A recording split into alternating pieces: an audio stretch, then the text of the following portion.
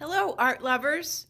I am in Carmel right now. I've just set up a show that I'm going to be having at Carmel on Main, and I am giving you, my favorite people, a sneak preview of the show.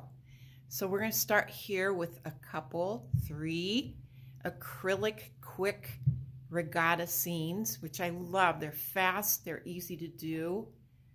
This is called Windblown, and it's a large oil that will beautify any spot it goes in. I love the crispness of it.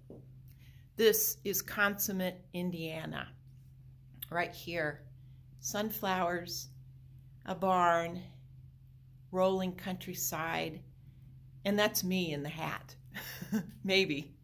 Um, that is six feet by four feet. It's a, it's a monster of a beauty, but I really love what it does to a space.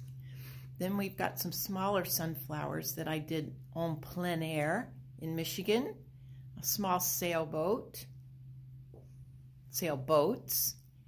This is called Azure because I love the blues in here.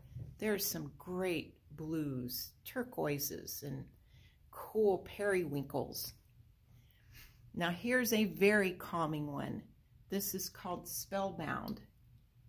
And I just love the soothing of it. It's just lovely.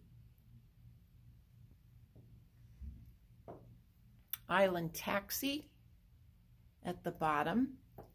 And this really scrumptious wine-colored sunflowers and tea that is it. I will post these titles and prices on the email I'm sending you. And please, the reception is Thursday, March the 10th, here at Carmel on Main.